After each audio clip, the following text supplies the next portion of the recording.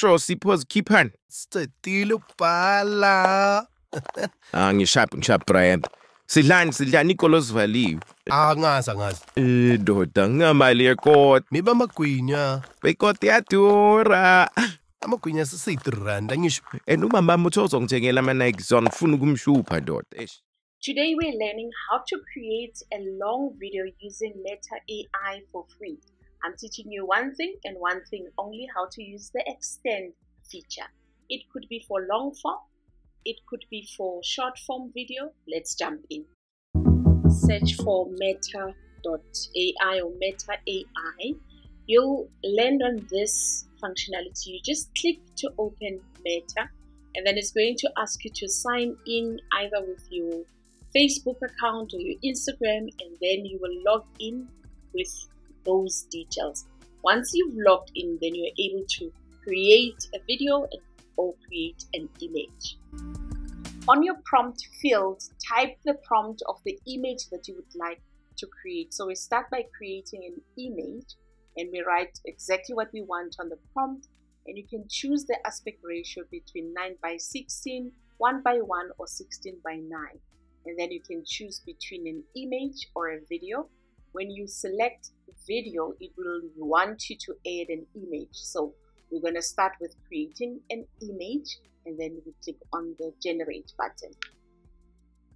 The image are then generated and you can have a look at them and you can click on animate if you wanted to animate that image or you could go ahead and customize the image. So when you hover and you click on the three dots, it will allow you to customize the image and change the style of the image to make it whatever you want it. If you don't like the image, you can go ahead and regenerate the image to something that you want and tweak the prompt to what you want. Has been created and you are ready to animate the image. You just pick any of the photo that you would like to use. So, say for example, you select this image and you want this particular one to be animated. You can, like I've showed you earlier on, you can restyle the image as you want to add extra things. But once you're happy, you can select animate or you could click custom animate. When you click custom animate, you tell the system what it must do.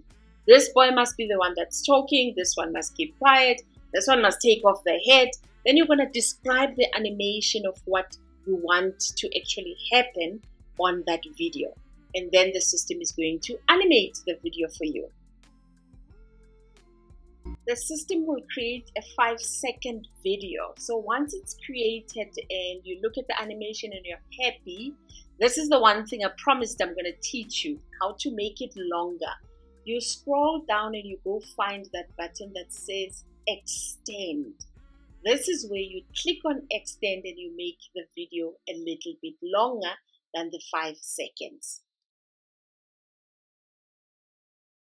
On the video that I created today that you just saw at the beginning of this video, it went up to 21 seconds. That's when I stop. It doesn't mean that's the limit. So far, Meta is telling us that this is still free. We don't know when they're going to put a price tag on it. So the sooner you start using this, the better. So at the moment, I made it up until 21, 22 seconds, and then I wanted, I was enough. I wanted to do my video and then show it to you and then share the video with everyone. So if you're going to be using this, let me know.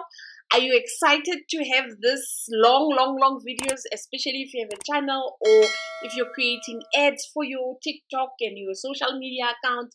Let me know in the comments what are you going to be using Meta AI for. Thank you so much for joining me on this video. Go watch this next video that's going to help you make characters lip sync. Or if you want me to create more about adding video, music, adding stuff on our animation, let me know. Thank you so much. I will see you with our next video.